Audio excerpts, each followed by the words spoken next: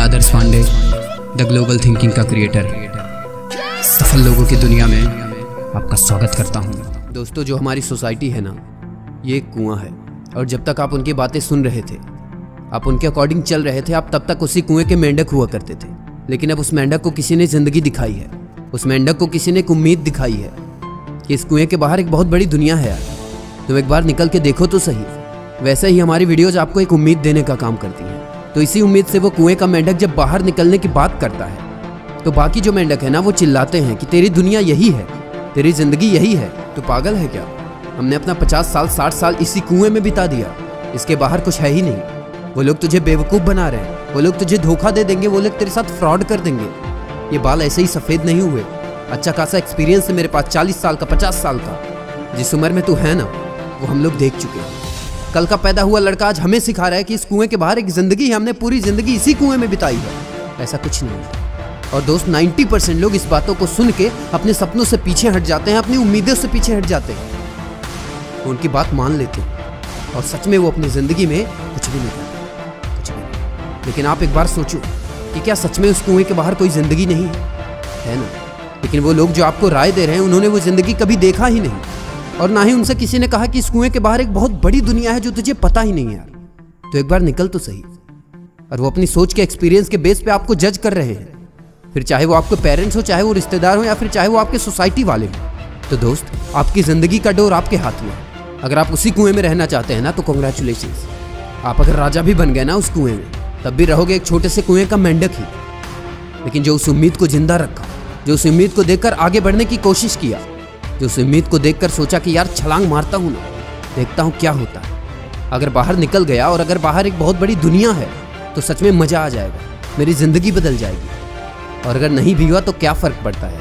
वापस ही आ जाऊँगा इस दुनिया में। तो जब आप बाहर निकलोगे तो आपको एक बहुत बड़ी दुनिया दिखेगी। जब आप बाहर निकलोगे तो एक जहाँ दिखेगा आपको। वो जहाँ वही है जो आप सपने में सोचा करते थे। बिल्कुल वही सारी चीज़ें आपके साथ होने वाली हैं, जो आपने अपनी ज़िंदगी में गोल बनाया था।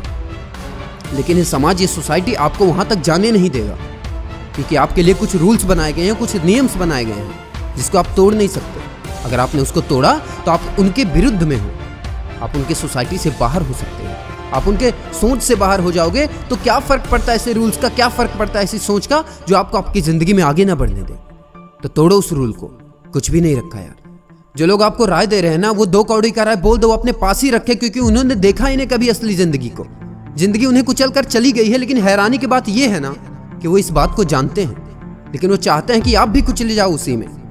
तो आप अपने साथ अन्याय कभी भी मत करना यार। बाहर की दुनिया बहुत बड़ी है यार, और बहुत खूबसूरत भी लेकिन एक कड़वा सच बताऊँ, इतनी खूबसूरत दुनिया को वही देख सकेगा ना जिसके जेब में पैसा होगा और जिसके दिल में प्यार होगा। तो बाहर निकलो, पैसे कमाओ, बड़ा आदमी बनो अच्छा आदमी बनो। सिर्फ़ अमीर बनना ज़रूरी नहीं है, एक अच्छा इंसान भी बनना ज़रूरी है। जब आप एक अच्छा इंसान बनोगे ना जेब में पैसे रहेंगे ना तो पूरी दुनिया छोटी लगेगी। पूरी दुनिया सस्ती लगेगी, वरना चुभेगी। उन लोगों की बातों से कहाँ रुके हो तुम? बाहर निकलो। देखो कितना मज़ा आएगा। दुनिया का कोना कोना घूमना है यार मस्ती करना है। ज़िंदगी बहुत अच्छी है। ये एंजॉय करने के लिए बनी है। आप कहाँ अपना टाइम वेस्ट कर रहे हो यार इन लोगों की बातों में? कहाँ रुके हुए इन लोगों की बात सुनकर यार? बाहर निकलो। देखो कितना मज़ा आएगा। उनकी बातें छोड़ो और आ जाओ बाहर। मैं आदर्श पांडे आपका वेलकम करता हूँ। एक ऐसी दुनिया में जहाँ सिर्फ़ पॉजिटिविटी है। एक ऐसी दुनिया में जहाँ सक्सेस हो। लेकिन वो कुएँ से बाहर आने तक का रास्ता आपको खुद तय करना होगा। वो स्ट्रगल वो जिद्द है आपको खुद झेल के आना पड़ेगा। तब जाके आपको मिलेगा सक्सेस तो मेरे दोस्त, उम्मीद है आपको मेरी बातें समझ में आई होंगी। तो अगर समझ में आई है ना तो कमेंट में बताओ कि आपने इस वीडियो से क्या सीखा। एक ओवरऑल स्टोरी के फॉर्मेट में था, जो एंटरप्रेन्योर सीरीज़ टू था।